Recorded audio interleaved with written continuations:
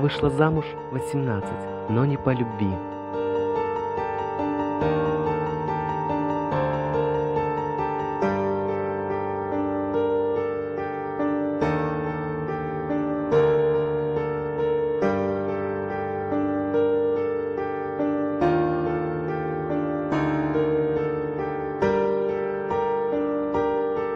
Ты знаешь его?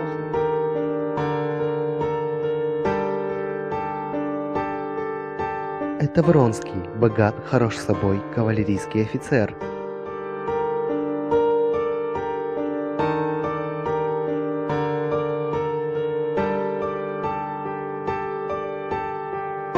Позвольте пригласить вас.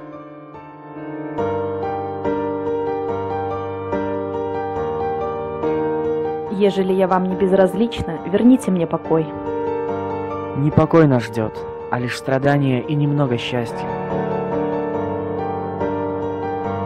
Я люблю тебя. За что? Любят просто так, а не за что-то.